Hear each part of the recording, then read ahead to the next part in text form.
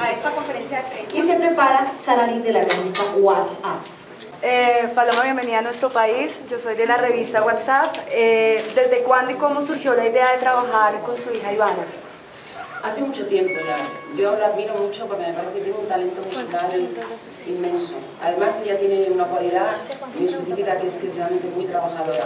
Le gusta mucho, diríamos, le gusta mucho, es muy científica a la hora de trabajar con la música. Le gusta mucho investigar, le gustan mucho los sonidos, le gusta, maneja muy bien todo lo que es el concepto de estudio, el concepto de producción y al mismo tiempo tiene mucha alma para componer. Entonces no siempre se da esa fusión entre la gente que conoce muy bien la mecánica de, las nuevas formas de hacer música con un sentimiento que consiga transmitir una, melodía o un, texto que realmente sea, sea bonito y tenga contenido. Entonces hace tiempo que estamos Hicimos algunos intentos, otras cosas, también. Y yo creo que ahora es el momento. Posiblemente porque eh, la industria está francamente mal, el mundo del disco está está. Y yo creo que hay que apostar por, por ideas, por ideas y por emociones. Esto es una apuesta de riesgo donde ella va a poner prácticamente todo al, digamos, al sentimiento humano.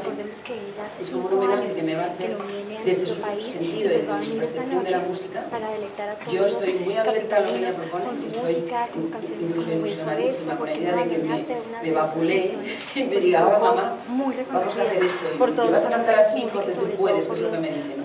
Es decir, que uno propios límites, que los límites aparezcan en el camino, pero no poner en el Entonces, es un proyecto muy bonito que ya está bastante avanzado y y que creo que es bastante sorprendente, pero quiero que la gente entienda que lo voy a hacer porque creo que es mi obligación apostar, arriesgar, buscar, investigar, probar, disfrutar de las propuestas que hay ahora mismo musicalmente hablando, no quedarme estancada en una forma de hacer música que a lo mejor hay momentos donde ya no me aporta nada. Eh, finalmente, ¿me podría regalar un saludo para la revista WhatsApp, para los lectores, por favor? Pues un saludo para toda la gente de WhatsApp que realmente están invadiendo el mundo con sus mensajes, sus comunicaciones, eh, diríamos, en, al segundo y mandarles un beso también al segundo para que lo reciban y lo compartan. Listo, muchas gracias.